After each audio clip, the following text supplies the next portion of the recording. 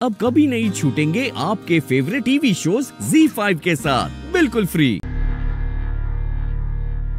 इस सारे फसाद की जड़ तुम हो।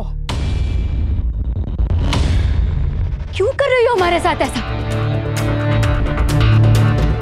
चली क्यों नहीं जाती? दफ़ा क्यों नहीं हो जाती यहाँ से? खुदा गौरव करे तुम पर। जब से आई हो हमारी घर की हवा में जहर घोल दिया तुमने। है ना? क्या हो गया तुम्हें ये कोई तरीका है किसी से बात करने का? भाईजान आप इसकी तरफदारी मत कीजिए। मैं किसी की तरफदारी नहीं कर रहा। लेकिन भाभी इसके लिए जो कुछ भी बोलती है ना भाई उसका एक एक लफ्ज सच है। ये लड़की ये लड़की हमारी आँखों में धूल झोंक रही है। आपको पागल बना रही है भाई। अल्लाह के वास्ते इसकी असलियत तो देखिए आप। ये लड़की हमारे खानदान के लायक ही नहीं है। मुझे इसकी करतूत बताते हुए शर्म आ रही है मुझे कुछ नहीं जानना है समझी? बस बहुत हो चुका। और क्या हो गया अचानक तुम लोगों को हाँ? सुर कैसे बदल गया सब लोगों का? भाई ये लड़की ये लड़की शैतान है। मैंने कहा चुप मतलब चुप।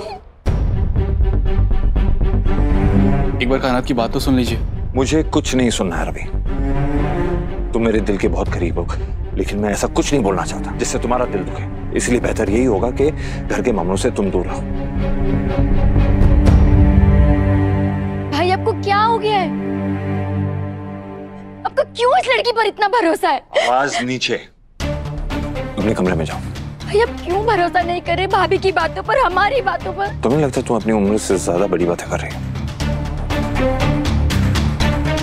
अपने कमरे में जाओ।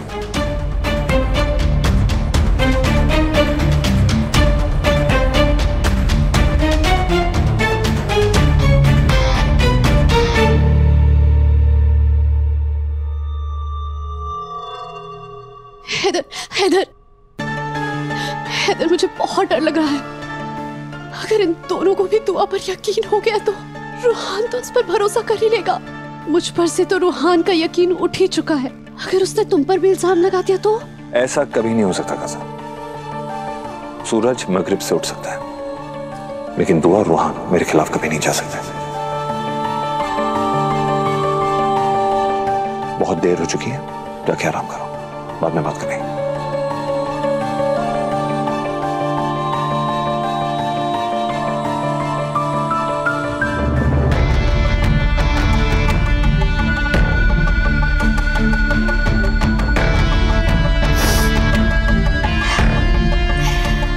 तो कर रहा है, अपने हैदर से जाकर लिपट जाऊँ, ताकि मुझे रूहान के कमरे में ना जाना पड़े। पर क्या करूँ?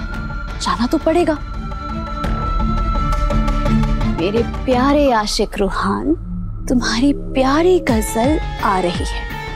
तुम्हारे जख्मों पर नमक मिर्च छिड़कने। और तुम मेरे जान, इतना यकीन करना भी ठीक नहीं रूहान तुम पर शक भी करेगा और तुमसे नफरत भी करेगा। ये मेरा वादा है तुमसे। Z5 ऐप डाउनलोड करें और देखें सारे एपिसोड्स बिल्कुल फ्री